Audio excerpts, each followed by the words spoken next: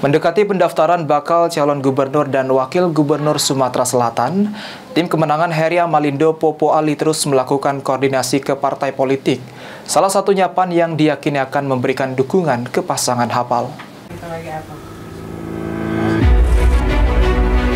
Pasangan bakal calon gubernur dan wakil gubernur Sumatera Selatan, Heri Amalindo Popo Ali hingga saat ini masih menunggu dukungan partai politik.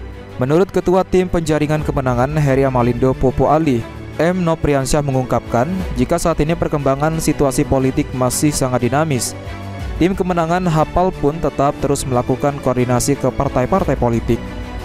Salah satu partai politik yang sinyalnya akan memberikan dukungan ke pasangan Hapal yakni PAN yang telah mendekati 90 persen.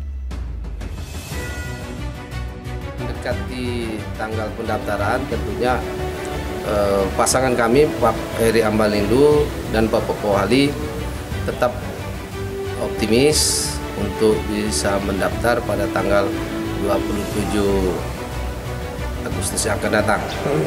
Karena perkembangan situasi politik memang uh, terus berkembang ini hari per hari, uh, minggu per minggu dan ini uh, kita tetap uh, melakukan proses di partai pendukung kita.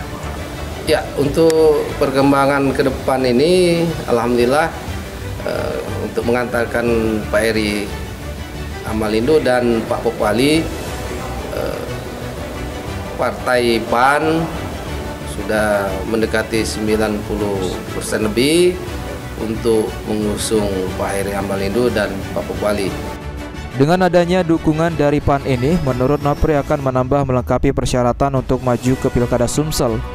Dan juga tim kemenangan Hafal optimis pasangan yang mereka dukung akan mengikuti pendaftaran bakal calon gubernur dan wakil gubernur Sumsel pada 27 Agustus mendatang. Aji Delia Paul TV